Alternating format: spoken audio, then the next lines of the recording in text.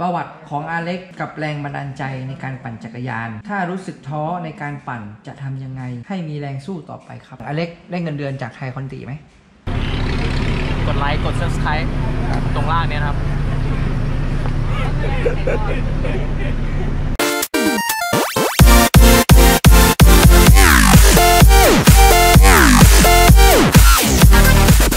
ประวัติของอาเล็ก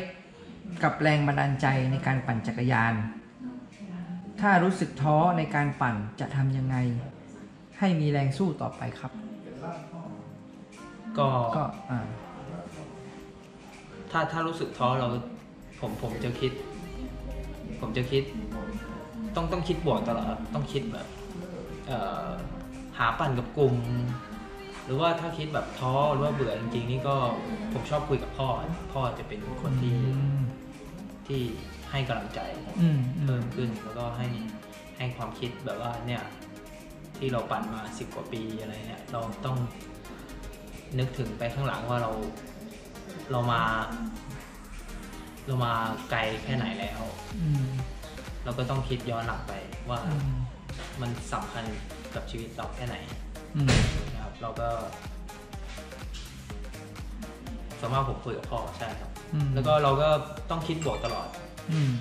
คิดบวก คิดแบบว่า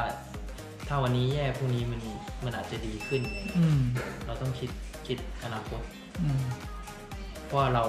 ถ้าเราเก่งอยู่แล้วมันก็จะมันก็มีช่วงที่ว่าเราดรอปแล้วก็ต้องมีช่วงที่มันกลับมาแน่นอน อืม เราไม่ต้องไปกังวลมาก อืม คิดบวกตลอดครับ อืม ก็ ไม่ต้องคิดเรื่องลบ มันจะยิ่งให้ทำให้เรา แย่ลงอืมในควาก็มฝันมีน้องๆเยาวชนหลายคนนะพี่ก็เห็นนะท้อท้อแท้เขามีฝันเนาะแล้วก็ยังเดินไปไม่ถึงอะครับเขาก็เลยท้อถึงบางคนบางคนถึงขั้นเลิกครับทั้งทั้งที่มันยังไม่ถึงอะ ครับ อืม ที่จริงผมก็แนะนำอย่างเงี้ยก็คือ ถ้าอายุยังน้อย อย่าไปอย่าไปท้อเพราะว่าอนาคตยังอีกไกล อืม แล้วก็โอกาสยังมีเยอะนะอืม ก็ต้องมุ่งมั่นนะมุ่งมั่นซ้อมก็คือถ้า ถ้าผมตอนผมยังเป็นเยาวชนผมก็ยังแบบ คิดเฮ้ยทำไมยังไม่เก่งสักทีว่าอะไรเงี้ยผมก็ดูว่าคนนี้ซ้อมร้อยโลเดี๋ยวผมไปซ้อมร้อยยี่สิบก็ได้อืมพรุ่งนี้ซ้อมเก้าสิบเดี๋ยวผมซ้อมร้อยยี่สิบซ้อมเพิ่ม อืมมันก็มีแรงบันดาลใจขึ้นมาแบบว่าเนี่ยผมซ้อมเยอะกว่า มันก็มีแรงกระตุ้นเนี่ย ผมซ้อมเยอะกว่าผมน่าจะเก่งกว่านะอะไรเงี้ยอืมอืม ช่ก็หาหาหาเรื่องที่เราจะคิดบวกดีกว่า ใช่หาเรื่องที่เราจะคิดบวกได้ตลอด อืมอย่างน้องบางคนแม่งขึ้น อยู่เยาวชนอยู่เนาะยังไม่ถึงฝันนะ พอปีหน้าจะขึ้นอยู่ยี่สามแล้วแบบ โอ้โหกูต้องไปเจอพี่เฟรมกูต้องไปเจอก็แบบนี้ผมรุ่นใหญ่อะไรอผมย่างเงี้ยผม คนคนที่ว่าเป็นเยาวชนแล้วจะขึ้นมาประชาชนว่ายูยี่สามเนี่ยเขาก็มาถามผมเยอะครับว่า มันมันยากไหมผมตอบตรงๆเลยว่ามันมันยากมากครับ มันยากแค่ปีแรก เหมือนมันเป็น ปีปีที่เราเปลี่ยนเปลี่ยนระดับ อืมมันจะมันจะเกิน มันจะเจอความแบบช็อกขึ้นมา ก็คือแบบ แต่ก่อนตอนเยาวชนอะเราจะปั่น ไม่ไม่ค่อยมีระบบ มีแรงเท่าไหร่ใส่เท่านั้น อืมมีแรงเท่าไหร่ใส่เท่านั้นอืมพอเราเปลี่ยนเปลี่ยนจากระบบตัวเนี้ยมาเป็นระบบที่ว่าเขา มีการวางแผนอืมมีทีม มีทีมมีการวางแผนอืมแล้วก็เออเป็นเป็นเป็นระบบทีมมากขึ้นเนี่ย มันจะเจอมันจะเจอการปรับตัวอืมก็คือเนี่ยการปรับตัวเนี่ย ประมาณปีหนึ่งหรือว่าสองปีมันจะยากหน่อย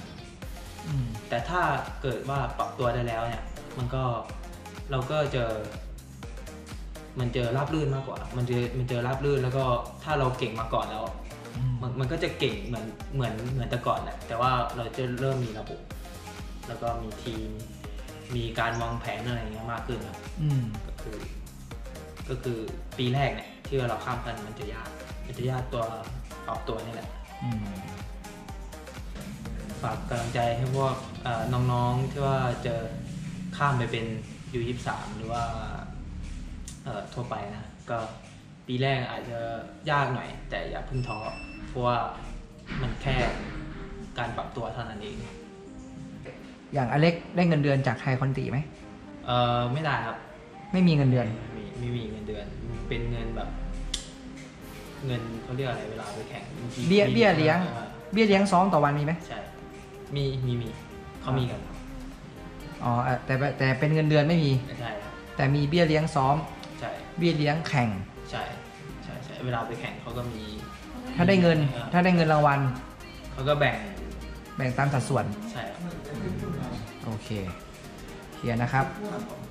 ไม่ได้ไม่มีเงินเดือนนะครับ เจ้าสัวคนไหนรวยๆก็มาสนับสนุนได้ อ่าฮะ